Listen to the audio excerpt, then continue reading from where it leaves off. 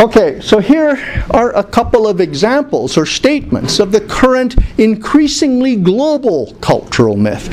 So this is one that emerged with that explosion of the post-Enlightenment uh, industrial revolution in Europe and is now spreading around the world.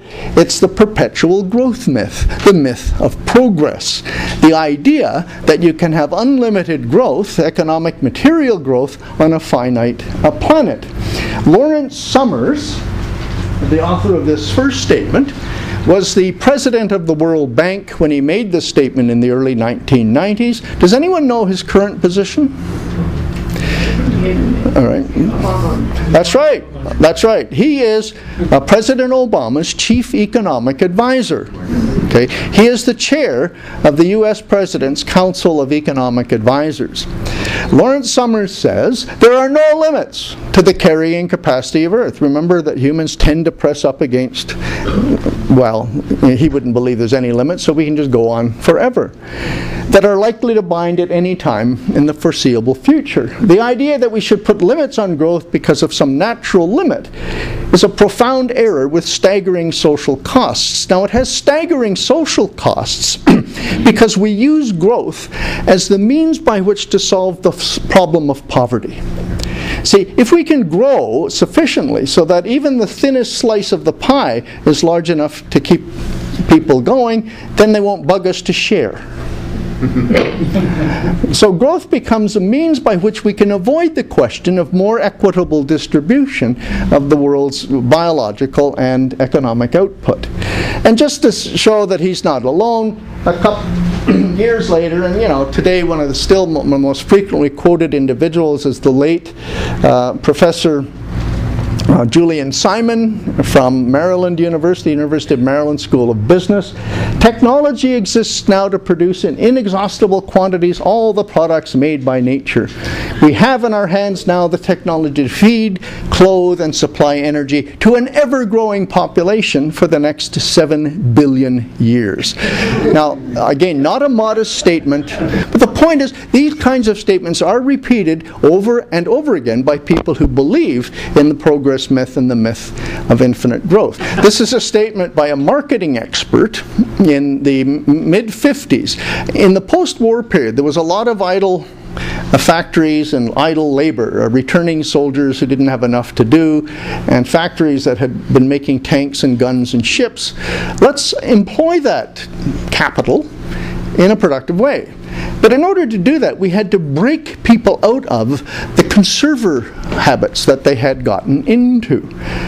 So that people had gone through the Depression, they'd gone through the rationing of the Second World War, they were getting used to living on very little. And by the way, they'd never been happier. Suddenly, we've got a big problem. People aren't working hard enough. There's underemployed capital. So let's organize to create a new social mythology explicitly on purpose to make people into consumers. All right? So this is one of the most prolific writers of the period. He was a marketing expert. Our enormous productive economy demands that we make consumption a way of life, that we convert the buying and use of goods into rituals, that we seek our spiritual satisfaction, our ego satisfaction in consumption. We need things consumed, burned up, worn out, replaced, and discarded at an ever increasing rate. And so began the history of the so called consumer society, a deliberate social construction that gave birth to the modern uh, advertising industry and uh, the compulsion that we all now uh, seem to have uh, to go to the store. The single most popular part, of spare time activity in North America is shopping at the mall, if you interview uh, people in a certain age group.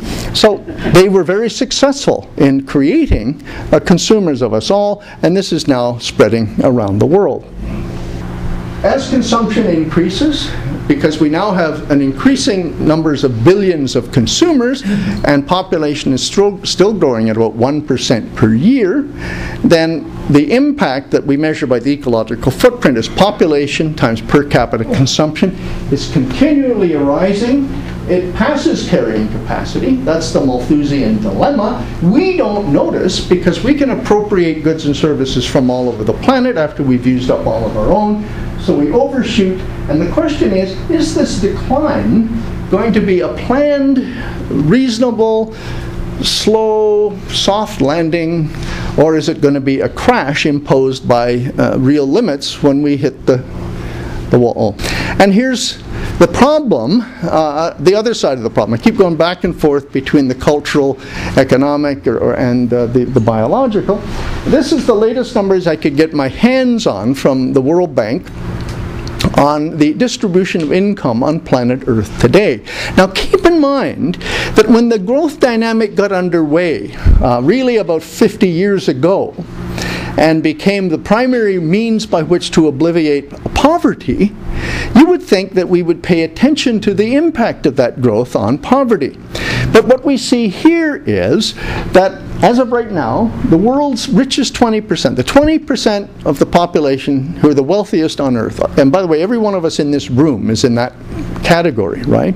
We use about 76.6%. We get all that much of the world income, actually consume about 80% of world output. The poorest 20% of people on earth get by on one and a one half percent of global output. And those ratios are worsening. So the question is if you are an intelligent species, if growth is being designed as a means of reducing poverty, uh, why is it that we can go for 30 years in a failed experiment and not pay attention to the fact that it's not solving the problem that we set out to do? So the share of the private consumption by the poor is in decline. Most world growth goes to the rich who don't even benefit from it. Okay. Why is this problematic? Because if we're already at carrying capacity, but we're about 25 to 30 percent over carrying capacity, and it's 20 percent of the world's people who use 80 percent of everything, that, that right away shows you that we've got a problem.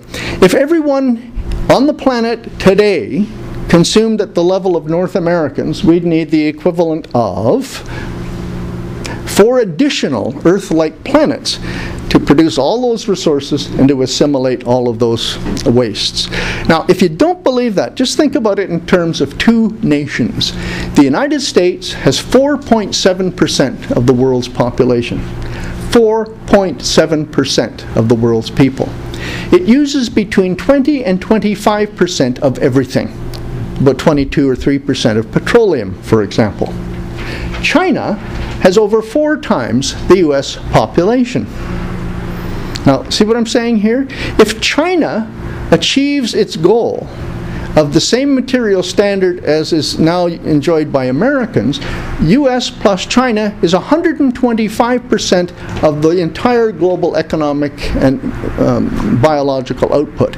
And you haven't even begun to count countries like Canada, Europe, India, Africa, and so on and so forth.